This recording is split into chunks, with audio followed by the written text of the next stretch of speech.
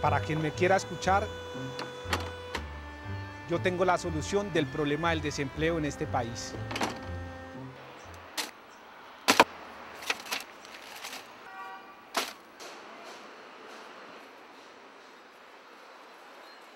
Mi nombre es John Ramírez, trabajo en el gimnasio moderno, en reciclaje con mi hermana María Antonia. Eh, llegamos aquí más o menos como a las 6 eh, de la mañana, dependiendo de la, del trabajo que haya, entonces comenzamos. Si tenemos muchas bolsas acá, entonces comenzamos con ese lado. En el día de hoy simplemente tenemos que acabar de eh, reciclar estas bolsas y esta es la basura, digamos, que llega para eh, recuperar acá. Es lo que hacemos, eh, clasificar, digamos, todos los residuos que se puedan recuperar.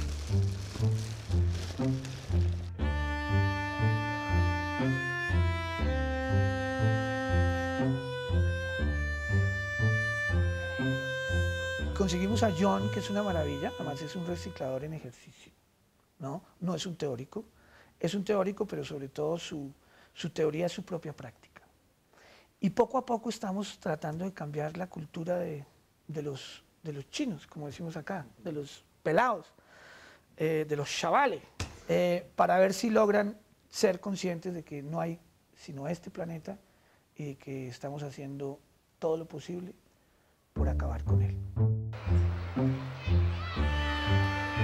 Nuestra labor aquí principalmente recuperar residuos. Esa es, digamos, así como nuestra parte operativa. Y ya, digamos, como nuestra parte ideológica, es enseñar a través de la práctica. Nosotros creemos que con el hecho de que nosotros hagamos esto, la gente va a entender que son cosas que se necesitan.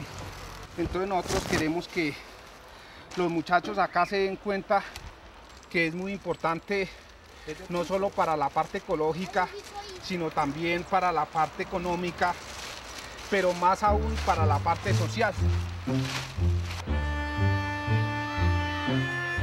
Este es un proceso que estamos eh, iniciando aquí en el colegio y se trata, digamos, de lograr una clasificación en la fuente en la parte externa.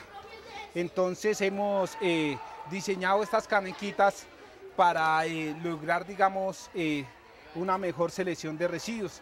Entonces tenemos la verde para basura, tenemos la naranjada para plásticos, metales y vidrios de botella, tenemos la blanca para el papel y tenemos la negra para la materia orgánica y tenemos una quinta caneca para el vidrio plano hay ocasiones en que toca eh, dar unas charlas a los muchachos, motivarlos de alguna manera para que eh, mejoren, digamos, la clasificación en la fuente.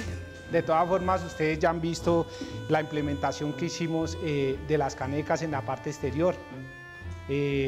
pues ustedes saben que más de uno está colaborando, pero hay más de uno que tampoco no lo está haciendo bien. Entonces, pues muchachos...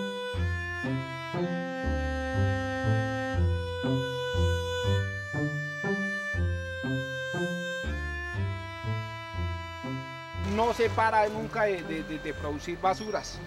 Esta es una labor que, que no tiene pare ni siquiera los festivos, ni siquiera el 25 de diciembre, ni siquiera el primero, el primero de, de, enero. Desafortunadamente los gobiernos no entienden, digamos así, la magnitud de la labor. Lo que yo digo es que toda esa población que no tiene una eh, profesión específica, desempleados, desplazados, habitantes de calle, que está representando, digamos, un problema para la ciudad, emplear, digamos así, a toda esa gente en la recuperación de residuos.